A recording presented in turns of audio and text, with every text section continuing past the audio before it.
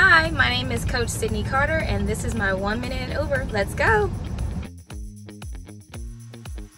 We are in Austin, Texas, and I am on my way to practice with Texas women's basketball. Well, my mom kind of put me in basketball like at a young age. I started when I was four. I started on an all guys team, and I was running past all of them and scoring, so I figured it was something I should stick to.